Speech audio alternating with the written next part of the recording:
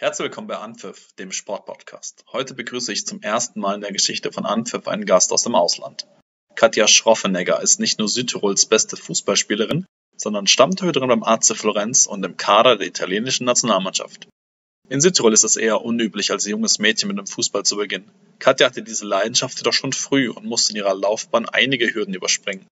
Bei Anpfiff erzählt sie ihre Geschichte. Freut euch auf ein Gespräch über Fußball in der Toskana, Rückschläge und Heimatgefühle.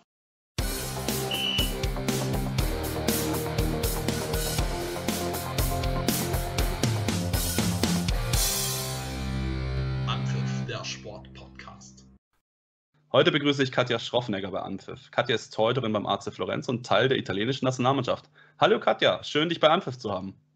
Hallo, guten Morgen. Katja, was uns bewegt, lautet der Titel einer Content-Marketing-Kampagne des Landes Südtirol, für die du einige Texte und Interview beigesteuert hast. Du schreibst da beispielsweise über die Besonderheiten des Zirbenholzes. Du warst in den frühen Morgenstunden dabei, als die Schneepisten präpariert wurden. Und du erklärst in deinen eigenen Worten die Südtiroler Traditionen. Was bedeutet Heimat für dich? Ja, Heimat für mich bedeutet äh, Südtirol eigentlich, bedeutet Berge, bedeutet Natur, ähm, für mich ist Heimat äh, ortsgebunden, vielleicht für andere Leute nicht, aber für mich schon. Ja, wie ich eben gesagt habe, Südtirol liegt mir am Herzen. Ähm, meine Familie wohnt noch dort, meine Schwester wohnt dort äh, mit ihren Kindern und ich freue mich jedes Mal, wenn ich wieder nach Hause komme. Du giltst als sportliches Aushängeschild von Südtirol. Du bist Südtirols beste Fußballerin, liest man immer wieder ähm, und hast auf und auch schon neben dem Platz, ich habe es gerade gesagt, schon für Schlagzeilen gesorgt. Wann hat dich die Leidenschaft Fußball gepackt?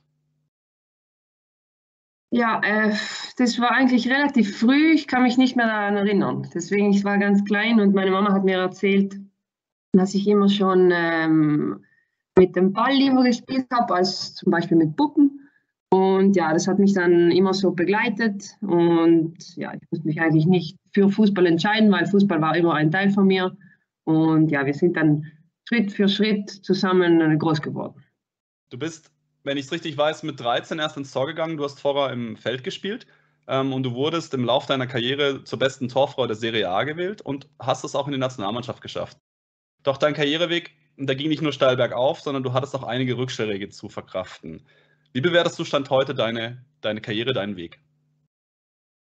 Ja, ich würde sagen, mein, mein Weg war sehr lehrreich, sehr steinig. Nichts ist von alleine auf mich zugekommen. Ich muss mir alles ähm, ja, Tag für Tag erarbeiten und, und auch jetzt alles, was noch kommt, ähm, ist Lohn für die harte Arbeit. Ähm, ich bin stolz darauf, weil ähm, es ist viel schöner, wenn man etwas erreicht, weil man dafür hart gearbeitet hat, als wie wenn es einem geschenkt wird. Ja, ich denke, ähm, ich habe äh, in, den, in den Phasen, wo es nicht so, so gut lief, wo ich verletzt war, ich habe sehr viel gelernt. Ich würde vielleicht jetzt die eine oder andere Entscheidung anders machen, wenn ich auf die junge Kette zurückschaue. Vielleicht würde ich in gewissen Situationen nicht mehr so hitzköpfig reagieren. Aber ich denke, das ist ein, ein, Werde, ein Werdeprozess. Und ja, wenn ich jetzt darauf zurückschaue, dann, dann, dann war es okay. Ähm, ich würde auch der jungen Katja wieder sagen, ähm, Hut ab für den Mut, den du hattest, gewisse Entscheidungen zu treffen. Es war nicht immer einfach. Und ja, ich denke mal, ich bin äh, im reinen Gewissen jetzt 30 Jahre alt, spiele bei Fiorentina, einem richtig geilen Club in der Serie A und freue mich schon darauf, was jetzt alles noch kommt. Wir kommen später noch auf deine Karriere zu sprechen. Äh, wir werden das so sukzessive abarbeiten. Mich würde am Anfang noch interessieren, ähm, würdest du dich als moderne Torhüterin beschreiben? Immerhin hast du einige Jahre selbst als Feldspielerin gespielt.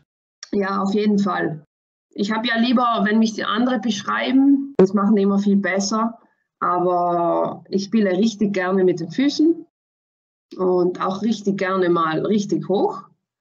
Ja, denke mal, das ist jetzt ja so das moderne Torwartspiel. Ja, ich denke, da bringe ich äh, vieles mit und mache es auch gerne, weil ich eben, wie du schon gesagt hast, äh, viele Jahre im Feld gespielt habe und auch in den Trainingseinheiten gerne wieder mal draußen mitspiele, wenn es die Möglichkeit ergibt.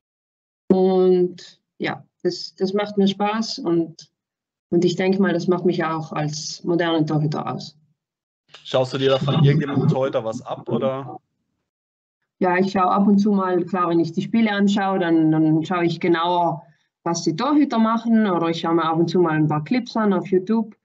Aber ich habe jetzt nicht einen bestimmten Torhüter, den ich versuche abzukopieren, weil ich denke mal, den Stil, den ich habe, vor allem im Frauenfußball in Italien, ist er relativ einzigartig und es ist halt so mein Style. Ja, und da bin ich auch froh darüber, dass das mein Style ist. Lass uns noch kurz so ein bisschen über den Frauenfußball generell in Südtirol sprechen. Wie viele Mannschaften gibt es in Südtirol? Oder ist es, weil der Weg von, von dir jetzt, den du gemacht hast, ist ja nicht, nicht vorgegeben. Also die meisten werden wahrscheinlich irgendwann einen Wintersport machen oder so, aber du hast dich für Fußball entschieden. Wie viele Frauenfußballmannschaften gibt es? Ja, also ich habe wie viele andere Mädels äh, mit den Jungs begonnen. Ich hatte das Glück, dass ich mit einer Nachbarin in die Stadt fahren durfte zum Training. So hat das alles begonnen, ja, bis ich dann eigentlich mit 13, 14 zu einer Mädelsmannschaft gewechselt bin.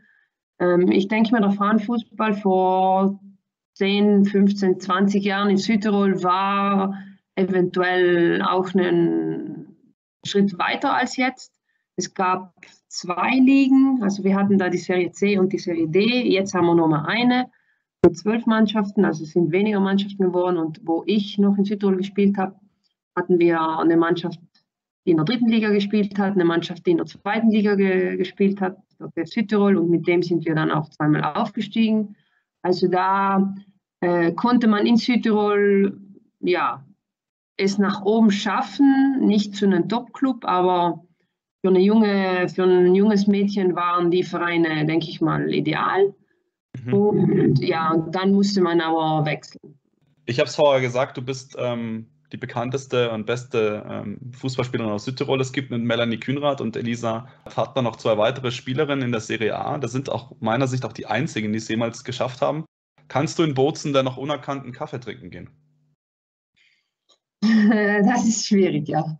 Nee, äh, Bozen ist eine kleine Stadt. Ich bin da ähm, zur Oberschule gegangen, also war das selbst in Bozen mittendrin für fünf, sechs Jahre lang. Und ja, ich kenne da viele Leute und natürlich bleibt man da nicht äh, unerkannt, kann man nicht durch die Straßen gehen. Ist nichts Unangenehmes? Nee, nee, das ist eine schöne Sache. Okay. Ähm, wir sprechen einen Tag vor dem WM-Qualifikationsspiel gegen Kroatien miteinander. Ihr seid nach zwei Spielen noch ohne Punktverlust und Gegentor. Das Hinspiel in Kroatien konntet ihr mit 5-0 für euch entscheiden.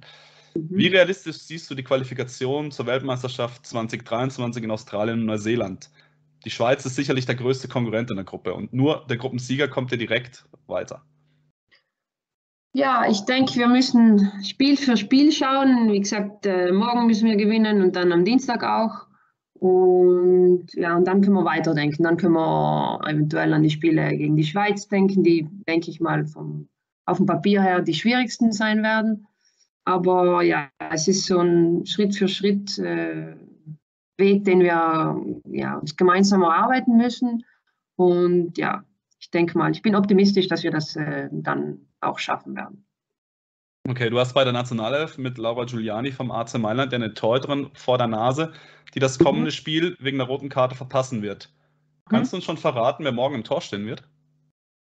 Wir wissen die offizielle Aufstellung noch nicht aber ich blicke dem Ganzen sehr positiv entgegen. Du bist der eine von vier Torhüterinnen in, ähm, in dem italienischen Kader. Das hat wahrscheinlich auch mit der Sperre zu tun, dass vier nominiert wurden anstatt genau, drei.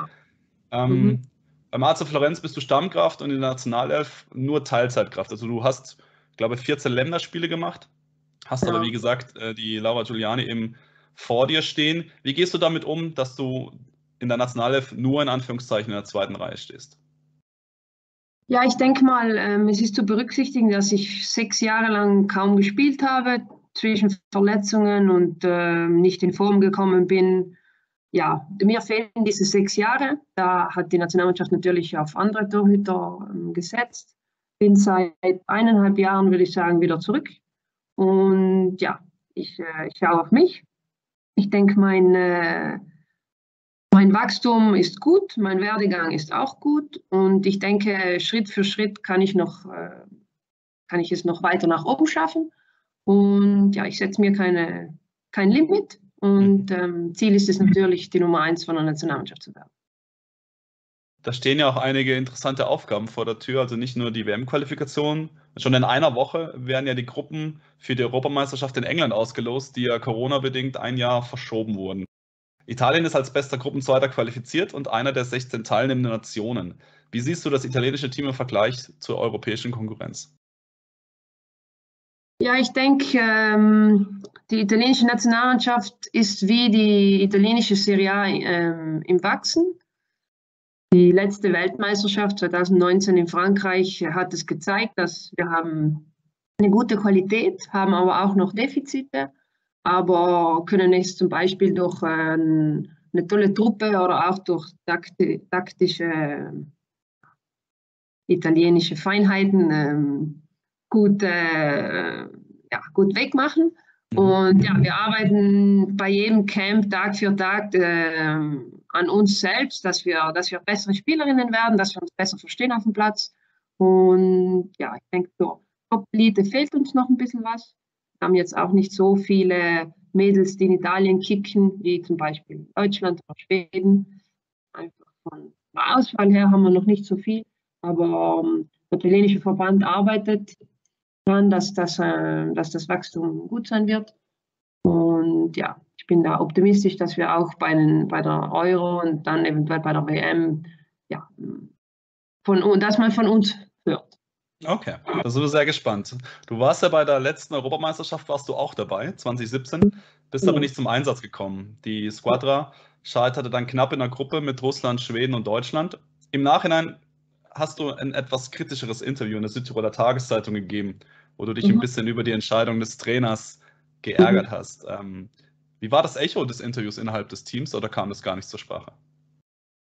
Nee, das kam gar nicht zur Sprache. Ich war definitiv verärgert, weil ich das halbe Jahr davor immer Nummer eins war und dann plötzlich Nummer drei war, ohne dass, äh, ja, ohne dass man mit mir gesprochen hat. Das hat natürlich, äh, ja, das hat mir so nicht gefallen. Ich äh, hätte gerne ein bisschen mehr Klarheit mir gewünscht vom Trainerteam. Ähm, das war aber nicht so. Ja, das Trainerteam wurde ausgewechselt und ja, und dann dann haben wir, wie gesagt, einen, einen neuen Weg eingeschlagen mit diesem Trainerteam jetzt. Okay, alte Kamellen, müssen wir auch nicht weiter drüber reden, aber ich hatte das, äh, ich habe das deswegen noch gesagt, ähm, das passt auch ganz gut zu dem, was du vorher meintest, dass du vielleicht früher etwas hitzköpfiger gewesen bist. Und äh, meine Frage wäre jetzt noch gewesen, ob man sich da als Sportlerin, auch wenn es schwerfällt, vielleicht manchmal auf die Zunge beißen muss.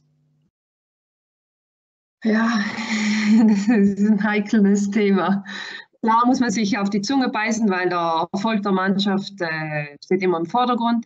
Ich denke mir, in der Phase war ich definitiv in Form, wäre definitiv äh, imstande gewesen, der Mannschaft äh, viel zu geben. Ähm, ja, ich habe nicht die, die, Möglichkeit bekommen und ja, wie gesagt, ich habe damit jetzt abgehackt und jetzt schauen wir nach vorne und, und das ist gut so. So machen wir das. Wir haben es ja vorher eingangs gesagt, ähm, deine Karriere lief nicht nur steil nach oben. Nach dem Rückschlag bei der EM 2017 hast du es ja dann wieder ins italienische Tor geschafft. Und ihr wart dann auch ähm, beim Algarve Cup 2020 ja gut dabei, seid ins Finale eingezogen und dann kam Corona und ihr musstet das Finale absagen. Deutschland mhm. hat kampflos gewonnen. Schreiben wir so ein bisschen die unveränderte Geschichte von der Katja Schroffenegger in der Nationalmannschaft? Nö, also ich denke, das Spiel beim Algarve Cup, das war so ein bisschen mein zweites Comeback oder mein erstes Comeback und mein zweites erstes Länderspiel, wenn man das so sagen kann. Ähm, ja, ich durfte da wieder mal spielen, endlich mal wieder. Ähm, war, nachdem ich fast eineinhalb Jahre lang verletzt war, dann endlich wieder in Form, wieder dabei, habe wieder in der Serie A gespielt. Und ja, ich kann mich da noch gut erinnern bei dem Spiel, bei dem äh, Halbfinale gegen Neuseeland, da hatte ich dann auch einen Elfmeter gehalten. Also ich denke, die Zeichen wären gut gewesen, dass wir ein positives Spiel gegen Deutschland gespielt hätten. Und ja, das hat uns dann natürlich äh, leid getan, dass wir das Finale nicht spielen konnten und dann eben frühzeitig die Heimreise antreten mussten. Aber natürlich Corona, wie gesagt, wir haben es ja dann gesehen, das, das nimmt kein, keine Rücksicht auf niemanden. War wahrscheinlich die richtige Entscheidung im Nachhinein. Genau. Ähm, apropos Deutschland, äh, nach deinen fußballerischen Anfängen in Südtirol ging es für dich im Alter von 20 Jahren weg aus der Heimat. Nach Jena, Frauen-Bundesliga. Wie fiel dir die Akklimatisierung in der Bundesliga und in Deutschland? Wie gelangt es dir? Ja, ich denke, ich hatte einen Vorteil, dass ich schon die deutsche Sprache kannte. Ich spreche daheim mit meinen Eltern äh, auf Deutsch. Ja. Ähm, natürlich, Deutschland ist vom Klima her ein bisschen anders. Äh, die Sprache ist dann auch trotzdem ein bisschen anders, weil wir sprechen ja nur Dialekt daheim. Ähm, ja, es war dann schon weit weg von daheim. Meine Eltern konnten nicht mal so kurz kommen. Ähm, ja, aber ich denke, die Stadt, die Größe der Stadt äh, hat zu mir gepasst, das Team auch. Ich habe dann begonnen zu studieren. Ja, ich habe mich in Jena sehr wohl gefühlt und ja, hatte dann eben relativ früh Pech mit Verletzungen und äh, ja, hat mir dann echt sehr leid getan, dass ich nicht äh, alles geben konnte, weil ich dann eben von, von, einer hässlichen Verletzung.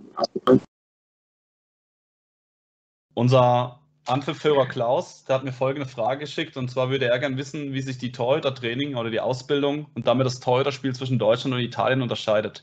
Oder gibt es da überhaupt keine Unterschiede? Doch, ich denke, jedes Land hat so ein bisschen seine Eigenheiten. Ich würde mal sagen, in, in Italien ähm, ist vor allem der technische Aspekt anders wie in Deutschland. Ähm, das ist jetzt schwer zu erklären, wie ich einen Ball halte in Italien und wie ich ihn, ihn in Deutschland anders halte. Aber zum Beispiel diese, ein deutscher Torhüter, wenn er einen Ball fängt, dann, dann rollen die mal auf dem Boden rum. Das mhm. würde bei uns zum Beispiel, das, das kommt gar nicht gut an. Ähm, da musste ich auch schmunzeln, weil ich nach Deutschland gekommen bin, wo ich dann auch rumrollen sollte. Und ja, ich denke, jedes Land hat so seine Eigenheiten ich denke mir immer so, ich versuche das Beste von allen Torwarttrainern mitzunehmen und ich probiere es dann mal aus und schaue, ob es wirklich effektiv ist, weil im Endeffekt müssen wir ja einfach nur die Bälle halten, dann wie ist ja egal. Und ja, wenn's, wenn ich mich äh, gut damit zurechtfühle, dann mache ich das auch so und ansonsten ja, befolge ich halt andere Ratschläge von anderen Torwarttrainern. Okay, das ist interessant mit der Rolle. Das, das höre ich jetzt zum ersten Mal. Ich hatte nur vor einiger Zeit mal Kaspar Schmeichel gesehen beim Aufwärmen, der auch eine ganz interessante Fangtechnik hatte. Also den Schuss quasi auf den, auf, direkt auf den Körper, auf die Brust bekommen hatte. Der dann quasi nicht die Schaufel gemacht hat, wie es mhm. man jetzt vielleicht kennt, sondern er hat irgendwie so über Kreuz gegriffen. Das, okay. war, das war jetzt was, was ich mitbekommen habe, aber das mit der Rolle höre ich zum ersten Mal. Das werde ich mir mal genauer, genauer anschauen. Aber danke ja, oder das Kreuz. In Deutschland wird auch ganz viel das Kreuz gemacht. Das ist bei uns auch ja, das machen wir nur, wenn die Bälle ganz nahe sind. Ansonsten sagen unsere Torwarttrainer immer, mach ja nicht das Kreuz. Okay. Und in Deutschland hingegen war das richtig viel, oder die Grätsche, die war in Deutschland auch richtig belebt. Ja. Also es gibt so mehrere, mehrere Techniken, die, die eben von Land zu Land anders sind. Okay. Und äh, wie bewertest du die Serie A im Vergleich zur Bundesliga, rein sportlich gesehen? Ja, wie gesagt, die, die Bundesliga, die kenne ich ja jetzt aktuell nicht mehr so gut. Ähm, wo ich nach Jena gekommen bin, war die Bundesliga ganz weit oben und die Serie A ganz weit unten. Ähm, ich sehe jetzt die Bundesliga nicht mehr so weit oben. Ja, ich sehe zwar Clubs wie Bayern und Wolfsburg, die einfach unmenschlich gute Infrastrukturen haben und Möglichkeiten. Also die sind extrem weit. Das war aber, wo ich bei Bayern gespielt habe, noch nicht so. Da war auch noch nicht der Bayer Campus und es war alles noch ein bisschen kleiner.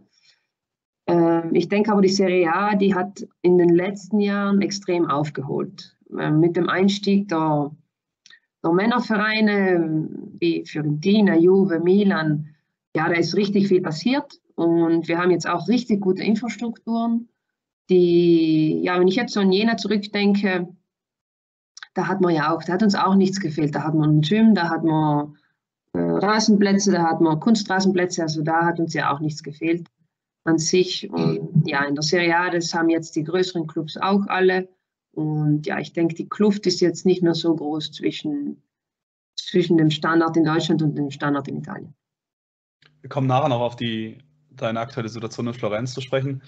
Ich würde gerne nochmal den Karriereweg ein bisschen weiterziehen. Wie gesagt, du warst in Deutschland, Jena, Bayern München, Leverkusen und bis dann auch verletzungsbedingt in Deutschland eben nicht auf die gewünschte Anzahl von Spielen gekommen und hast dich dann entschieden, äh, nochmal ein halbes Jahr zum FC Südtirol zurückzugehen. War das damals genau der richtige Schritt für dich, raus aus dieser Sackgasse? Ja, ich war, wie gesagt, in Deutschland äh, oft verletzt, habe dann auch gewisse Entscheidungen so nicht geteilt, äh, war auch und dann relativ frustriert am Ende und ja, sah dann eine gute Möglichkeit, eben wieder zurück nach Hause zu kommen, wo aber eben das Problem war, dass der Frauenfußball noch nicht so weit war, dass ich mm, nur Fußball gespielt hätte.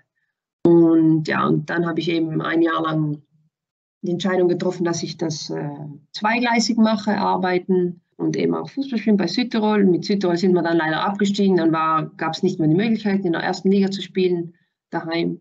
Und ja, und dann habe ich eben so geschaut, äh, ja, was, ja, ich habe mich so gefragt auch, was will ich machen in meinem Leben? Möchte ich mehr den Fokus auf Fußball setzen oder mehr auf, auf die Arbeit? Aber ja, mein Herz hat halt immer für Fußball geschlagen, nur war der Fußball in Italien noch nicht so weit. Und dann musste ich eben noch ein, zwei Jahre warten, bis das dann alles so geklappt hat, wie ich mir das vorgestellt habe. Und ja, und jetzt bin ich eben glücklich, wie das so läuft, dass ich in Florenz bin, dass ich nur Fußball spiele und ja, dass ich das mache, was, was ich immer schon machen wollte. Ja, du hast dann noch ein, zwei Jahre das CDB gespielt mit den Unterlanddamen und mit Inter Mailand. Also mit Inter Mailand ja dann auch einen prominenten Namen dann schon gehabt. Dann warst du bei San Gimignano. Mhm. Und der Verein wurde dann, da hast du ein Jahr gespielt, wurde verkauft nach Genua. Das ist eigentlich auch eine sehr kuriose Situation, die man sich als Männerfußball gar nicht, gar nicht vorstellen kann. Und dann bist du zum AC Florenz gegangen. Kannst du das nochmal so ein bisschen erzählen, wie da diese Zeit abgelaufen ist oder wie ihr da vielleicht auch von dem Verkauf dann betroffen wart? Ja, ähm, der Zeitpunkt äh, war jetzt nicht so genau, wie du das erklärt hast. Also ich habe äh, bei Florenz San Gimignano ein Jahr gespielt und hatte dann, habe für mich beschlossen, dass ich mich in der Toskana sehr wohl fühle, dass Florenz für mich die ideale Stadt ist momentan und habe dann ein gutes Angebot von Fiorentina bekommen, äh, auch in der Champions League zu spielen und um Titel mitzuspielen. Habe das dann sehr gerne angenommen, bin dann gewechselt und äh, Florenzo San Gimignano wurde erst diesen Sommer nach, äh, nach Genua verkauft. Das ist aber im Frauenfußball in Italien ein Gang und Gäbe, weil die großen Männerclubs, die steigen ein und brauchen dann natürlich äh, ja, die Lizenzrechte, damit sie in der ersten Liga spielen dürfen und die suchen sie sich dann bei, bei Serie A-Vereinen aus. So hat das zum Beispiel äh, Juve gemacht, die haben Cunio aufgekauft oder Milan hat Brescia aufgekauft, ja. Oder, oder Fiorentina hatte damals den, den, den alten Club aus, aus Florenz aufgekauft. Also das ist hier ganz normal so. Dann habe ich mich da zeitlich ein bisschen vertan, äh, in der Tat. In Florenz wurdest du sofort Stammspielerin durftest in der Champions League auflaufen, ihr habt Supercoppa-Finale gespielt. Bist du angekommen? Ja, ich fühle mich hier sehr wohl. Ähm, ich hätte diesen Sommer ja wieder zu größeren Clubs wechseln können, weil die Leistung letztes Jahr, ja, die hat gestimmt. Ich bin happy darüber auch. Habe dann aber beschlossen, meinen Vertrag in Florenz zu verlängern, weil ich hier sehr, sehr viele positive Dinge sehe Jetzt abgesehen, ob wir einen Kader haben, der vielleicht dieses Jahr nicht um Titel mitspielen kann, aber ich sehe das eher langfristig.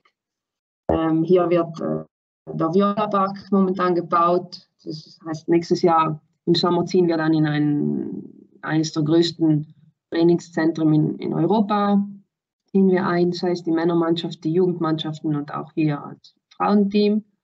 Ähm, ja, ich fühle mich in Florenz wohl. Die, die Stadt liegt, die hat eine tolle Temperatur. Ich kann nach Hause fahren, wenn wir zwei Tage frei haben. Ähm, ja, es ist nicht so weit und die Leute sind nett. Ja, deswegen habe ich eben beschlossen, meinen Vertrag hier zu verlängern und äh, ja, und die Arbeit mit dem Team macht Spaß und ich denke, ja, es sind ganz, ganz viele Sachen, die, die mir hier gefallen und ähm, ja, deswegen fühle ich mich in Florenz wohl. Ich glaube, in Florenz als Stadt kann man es auch durchaus aushalten. Ich hatte auch ja, das Vergnügen. Ich denke auch, ja. Wie ist die Verbindung zum Männerverein? Äh, lauft ihr autark? Du hast gerade schon gesagt, ähm, es gibt ein neues Trainingszentrum, aber wie ist es jetzt? Habt ihr Synergien, die ihr nutzen könnt oder sind das zwei getrennte Vereine in Anführungszeichen? Nee, es läuft alles parallel. Ähm, wir sind im Trainingszentrum der Männer, also da ist nur der erste Männerverein und der erste die Frauenmannschaft sind da nur. Und ja, wir teilen uns äh, den Fitnessraum, haben quasi die Physioräume nebeneinander. Äh, wir Wir verwenden die, die gleichen Maschinen, wenn wir Therapien benötigen oder wenn wir einen Physios irgendwas brauchen, haben das Schwimmbecken zusammen, haben den Kneipp, das Kneippbecken zusammen, also es ist alles dort. Der einzige Unterschied ist, dass leider waren keine Plätze mehr frei im Trainingszentrum der Männer. So gehen wir quasi hinten raus und dann auf einen, einen Platz, der quasi angemietet wurde, aber der nicht selbst jetzt von, von Fiorentina ist. Aber ist es schön zu sehen, dass es da dann auch wirklich ähm, ein Verein ist, weil man teilweise. Ja, das ist richtig toll, ja. Ich glaube, du hast es ja gerade auch äh, gesagt, als du in München warst, und das habe ich jetzt auch schon aus anderen Gesprächen gehört, da war das wohl damals noch nicht so. Jetzt sind gerade mhm. jetzt auch in München der Frauenfußball und der Männerfußball schon noch ein bisschen verzahnter. Ähm, das ist, glaube ich, auch eine Entwicklung, die dem Frauenfußball, ob in Italien oder in Deutschland, einfach gut tut. Ja, ich denke auch so, das Modell, wie wir es haben in Florenz, das ist toll und auch ein bisschen einzigartig, weil auch andere Vereine, die, die leben nicht so täglich mit der Männermannschaft äh, parallel nebeneinander. Und ja, das ist toll und ja, ich, ich fühle mich richtig akzeptiert von den Männern, die, mit denen macht man Scherze, mit, mit, man, man spricht mit den Trainern vom Männerteam. Ja, es ist toll zu sehen, dass die jetzt nicht zehn Stufen höher sind, sondern dass es auch nur ganz normale Menschen sind. Auf Augenhöhe. Genau. Letztes Jahr wurdet ihr Vierter mit Florenz. Jetzt steht ihr momentan im gesicherten Mittelfeld. Ich glaube, der Saisonstart war eher durchwachsen. Was ist dieses Jahr noch möglich? Ja, ich denke, der Verein hat eine neue Richtung eingeschlagen. Ähm, wir haben dieses Jahr eine junge, sehr italienische Truppe, also wenig Ausländer, ähm, haben ein neues Trainerteam. Wie gesagt, sind umgezogen vom Platz, Umkleidekabine. Also es hat sich sehr, sehr viel verändert. Ähm, ja, ich denke, das ist äh, das Jahr eins bei, äh, bei einem neuen Projekt, das dann nächstes Jahr mit dem Viola Park bestimmt besser wird. Und ja, ich denke, dieses Jahr müssen wir in der Tabelle so weit wie möglich nach oben klettern, vielleicht im, äh, im Pokal auch so weit wie, es geht kommen. Und, und eine gute Basis schaffen für die nächsten Jahre, weil ich denke, dann, dann können, können wir wieder um Titel mitspielen. Du hast es angesprochen. Im Sommer gab es Gerüchte um einen Wechsel. Ich meine, es ging um Juventus Turin. Du selber hast die Langfristigkeit angesprochen. Wo siehst du dich in drei Jahren und hast du einen Karriereplan? Ja, in drei Jahren weiß ich noch nicht. Also Stand jetzt gefällt es mir in Florenz richtig gut. Ich habe äh, hier für zwei Jahre verlängert. Ähm, ja, ich denke, es ist wichtig zu schauen, wie es mir auch körperlich gehen wird in drei Jahren. Weil, ja, wenn es von der Lust her geht, glaube ich, könnte ich ewig weiterspielen. Weil, ja, weil es zwischen der jungen Katja und der alten Katja echt keine Motivationsunterschiede gibt, wenn es darum geht, irgendwie auf den Fußballplatz zu gehen und Fußball zu spielen. Ähm, ja, ich denke, ähm, nächstes Jahr werden wir ja auch offiziell Berufssportler. Dann gehen auch viele Türen in der Berufswelt auf, was vielleicht für die Zukunft auch dann äh, interessant sein könnte. Und ja, wie gesagt, ich weiß nicht, wo ich mich in drei Jahren jetzt sehe, aber ich hoffe mal, ich bin dann immer noch in Florenz und, und, wir, und wir spielen um Titel mit. Das würde ich dir wünschen. In einem älteren Interview von dir mit der Barfuß äh, habe ich gelesen, dass du an einem Jugendroman arbeitest. Ist der bereits fertig? Ja, ich hatte in der Phase, wo ich für Was uns bewegt äh, geschrieben habe, ja, eine Phase, wo ich sehr, sehr, sehr viel geschrieben habe und da hatte ich einen Roman geschrieben.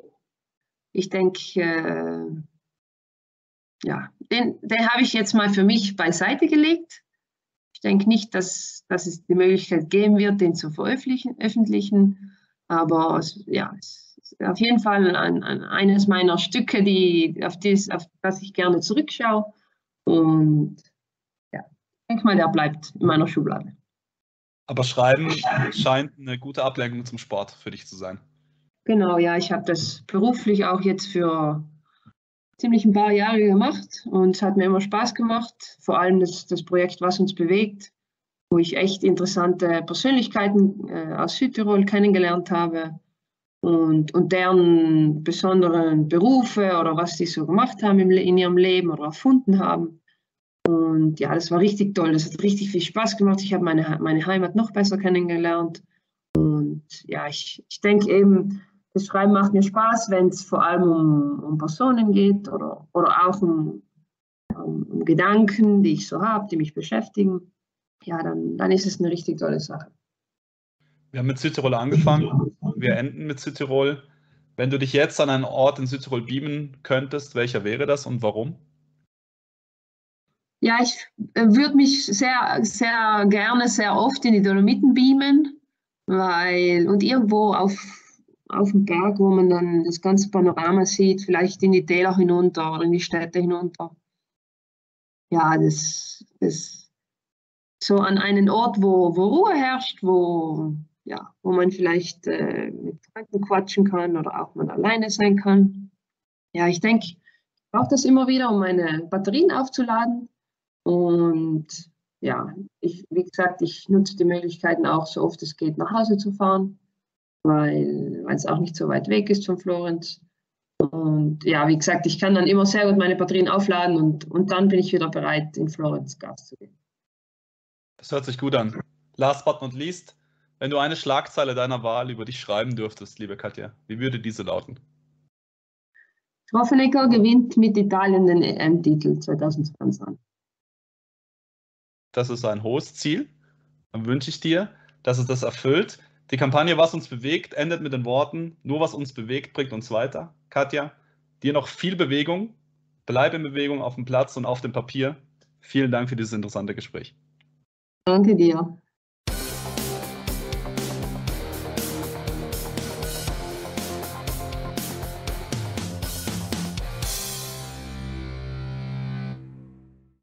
So, das war's schon wieder mit Anpfiff.